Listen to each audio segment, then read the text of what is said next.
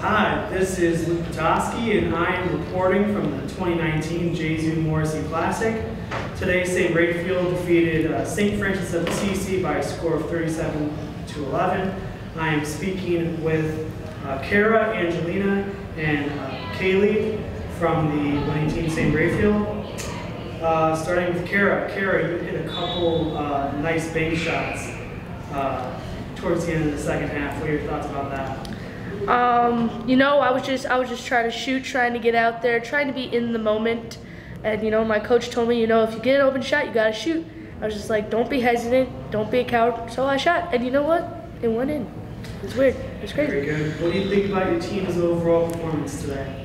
You know, I felt like I felt like we did pretty well. We were making a good couple of shots. We did miss layups. I think I missed like four or five or six or something around that area.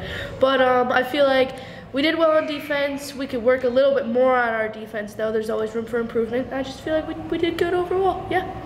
Very good. And uh, Angelina, you had uh, three rebounds and one assist today. Talk about your performance.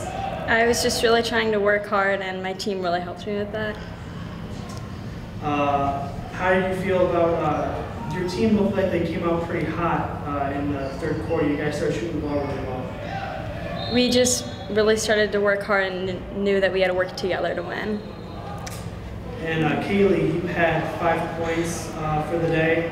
Uh, talk about your team's performance. Um, our team did good on defense, but we can work on some of it because we had open layups and we can make more um, layups.